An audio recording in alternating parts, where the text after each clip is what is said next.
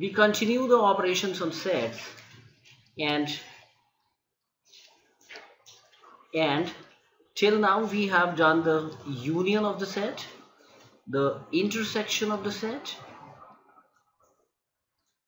the difference of the set right?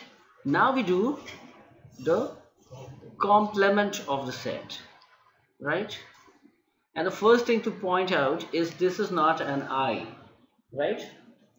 It's not as in giving complement to others right? It's complement of a set okay? Till now the union the the intersection and difference that requires two sets right? That requires two sets to be operated upon. Now the complement is not that. Complement of a set is does not require first of all two sets okay? And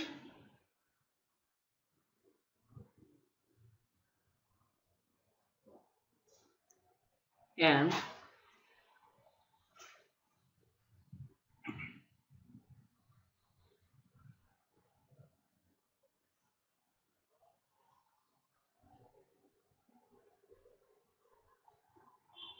if if this is set A everything that belongs to the universal set and does not belong to A is the complement of the set.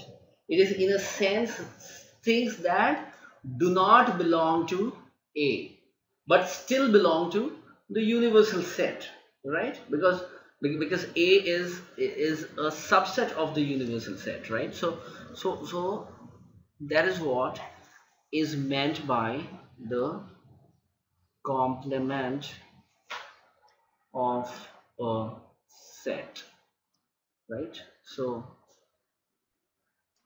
so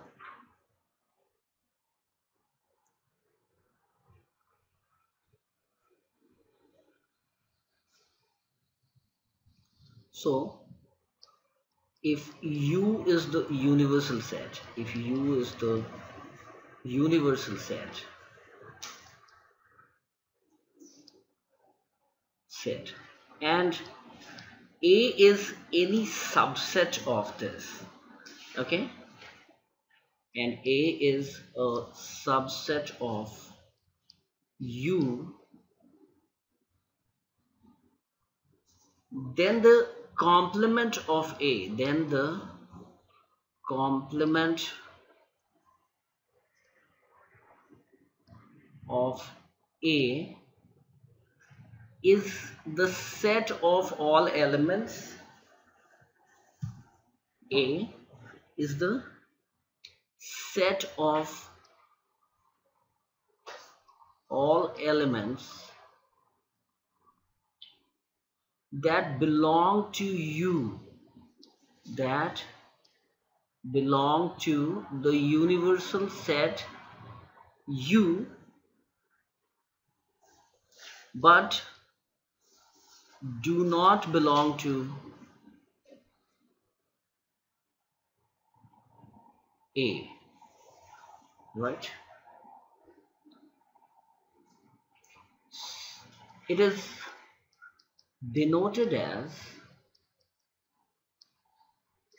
a and and a dash over it right? A complement okay? And and analytically we say that a complement is the a complement is the set of all x such that x belongs to U. Okay? And x does not belong to a. Right? Now if I try to represent it here it represents this region right? So everything here. Correct?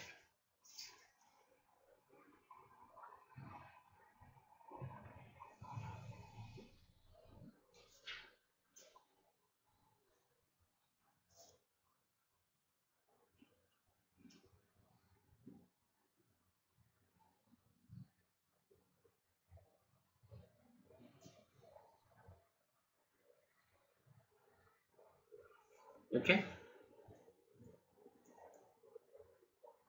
Is that okay?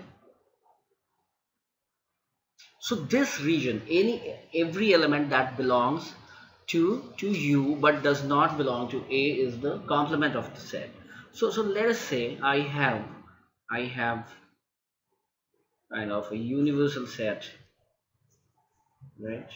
So universal set which is which has say one two three four five six seven.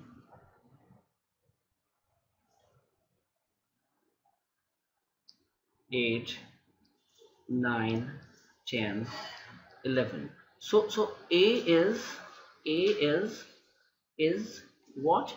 It is it is kind of this is this is your set a. It is four five six seven now now to find out the complement you should also know what the universal set is right? The universal set is 1 2 4 5 6 7 8 9 10 11 right? All of these. So what is the complement? Complement is everything that belongs to U but does not belong to a. So a complement will be or, or, or graphically it is everything that that lies outside of A. So that becomes what? 1 2 3 okay? 4 5 6 7 are there. 8 9 10 11 right? Now everything that belongs to U and does not belong to A does it ring a bell? It should ring a bell when we were doing the difference right? When we were doing the difference we said that that a minus b is nothing but all the elements that belong to a but do not belong to b right? Elements that belong to a and do not belong to b.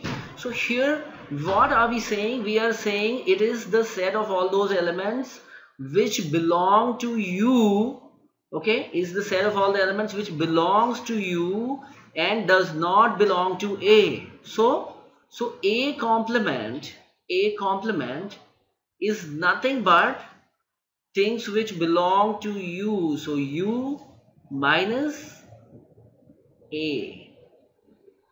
Do we get that? It is also u minus a. That means out of u out of u you remove these elements. This is what what we are doing. And all these elements since all these elements belong to to U you can subtract it right? Correct? You can pretty well subtract it because all of them belong to U. So you just have to remove them. So so technically it is also u minus a. We get the point? Fine next we'll go to see the the properties of the complement of a set